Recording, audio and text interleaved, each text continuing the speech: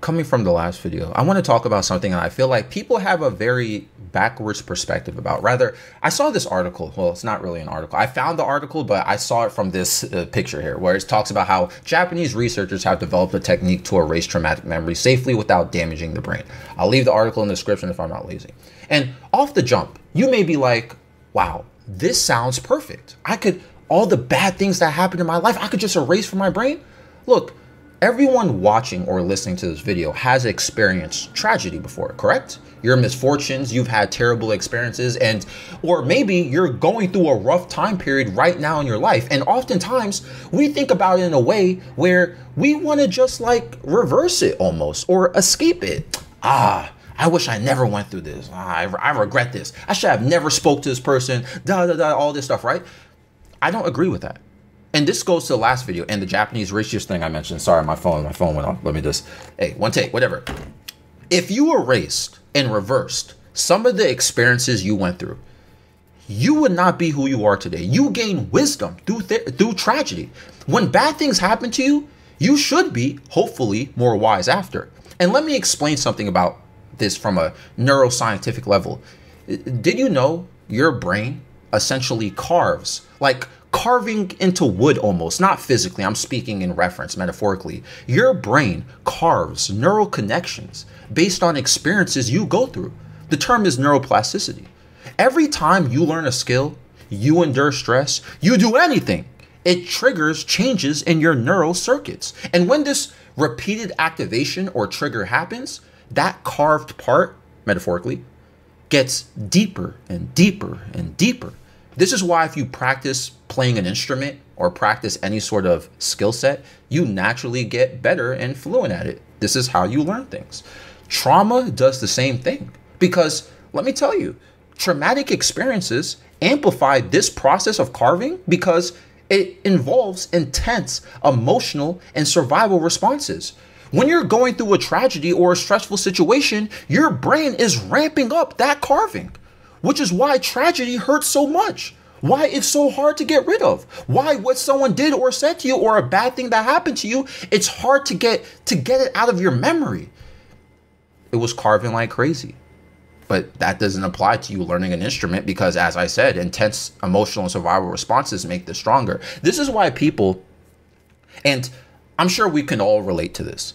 This is why when you talk to somebody, when you meet somebody new, or let's say you meet a girl or a guy, right? And let's say you got something a little attractive, whatever, right? And you learn about their past and you realize they've been hurt by somebody in the past or multiple people. For that exact reason, they think you're going to do the same thing that their ex did to them. They or you because you might be that person who I'm referring to here, where you know so your ex hurt you or something, and now you think everybody's like this, right? And it's even subconscious you or they might miss out on dating a good woman or a good man because your brain is all carved out from your past experiences. And because of your or their natural pathways being molded like this, it affects their or it affects your emotional regulation and your empathy. This is why people who experience childhood trauma, they struggle with their empathy this is why I say in videos, the first and most important thing you need to do when raising a child is teach them empathy. How would you feel if what however you're acting is is on the opposite side? Hey, if you're doing XYZ, you're disturbing this person etc. Hey, don't do that because it may create this effect that isn't favorable to others. Try not to be so angry or throw a fit all the time when you don't get what you want because it makes other people unhappy. People go through terrible experiences. And they need to rebuild their circuits. And when they do, or are in the process of doing so, that's where wisdom comes from. That's where empathy and compassion comes from. If you never resolve your past or come to terms with it, you'll never grow. And this isn't something that just pop. It's just, you know, why I do pop. That's not even the right sound. Snap, right? If you just snap your fingers, it's not just gonna like disappear. Like, oh, I, I come to terms with it. It doesn't work that way. It's like it takes days, it takes months, it could even take years. That's why I feel like when people wish certain things didn't happen in the past that hurt them, I don't agree with thinking that way. Because what it tells me is that you either didn't learn from the situation because you're too caught up on what this person did to you or what happened to you. You didn't learn from it really. You're just mad at this point. Or again, you claim you did, but if you learned from something, you wouldn't be holding on to it like this or letting it affect you that much. It's a learning experience. I I came to terms with it. If you came to terms with it and you learn from it, let's move on. Now, here's my counter argument to my argument, where I feel like with like the Japanese research thingy about removing traumatic memories, right? Some traumatic experiences, if you went through therapy, hypnotherapy, group therapy, and everything under the sun to deal with your problems, and it cannot be resolved, and let's just say it's affecting your life every day or your relationships that badly, then yes, I think I would not be against completely erasing a traumatic memory or experience from someone's mind. Some people are too damaged, way too damaged. But a lot of people aren't good judges of that.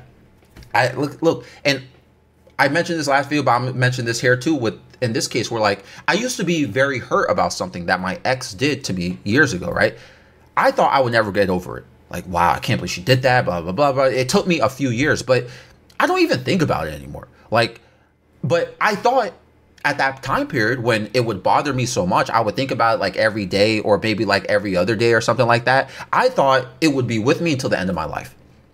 I wasn't a good judge of this because when we're dealing with a tough past memory, we act like it's the end of the world for us because it's our it's it's our problem, right?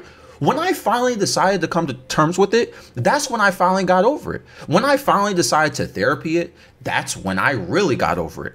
I did something about it. And oftentimes we don't do anything about our past problems. We just let it, it just stays in our mind. You know what I'm saying? Like oftentimes we don't try to find resolve with our past. Some people they they're too busy. They want revenge all the time. Some people they want revenge. Some people they just you know they they I don't know they they just it's almost like attached to their personality. You get what I'm saying? We just let it live inside us and remind us randomly. And to wrap this up, this is why I meant last video about tough times don't mean give up. Because when you give up, you make everything worse. You have to do the inner work. If you don't want to work or get help, then what are we supposed to do for you? What are you supposed to do for yourself?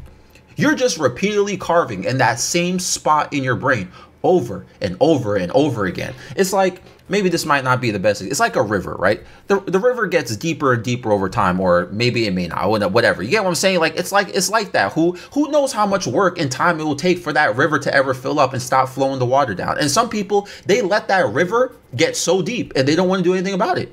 Then such is life to them. But there are people with traumatic experiences that cause that carving to be so deep to the point where it's like you can't even restore it. You know, it's like, damn man, that hole is gonna be there forever. You know what I'm saying? And that's the only time I wish something like that could be done here, where we could erase memories or traumatic experience, right? But those experiences that I'm talking about, where that would be the case, are very specific, in my opinion. Some girl or some guy breaking your heart is not an example of this. You going broke is not an example of this. You flunking in school is not an example of this. You getting rejected is not an example of this. It's not the end of the world. People be acting like that. Y'all be acting like that deep carving. Oh, man, she broke my heart. The girl I crushed on for years, she's like, bro, it's not the end of the world, okay? Like you may be mad, you may feel a way, but if you don't come to terms that, all right, then all right, keep letting that affect you, bro. Like eh, that, that's your misery at this point. That's your misery. You keep treating it like it's the end of the world. You're carving things deep and deep and deep and deeper into your brain, and now it's going to be harder to get out of it. Metaphorically speaking, of course, when I say carving and deep in your brain, you know what I'm saying? But that's the point I want to make. Anyway, this episode is found on Spotify and YouTube. I'm out.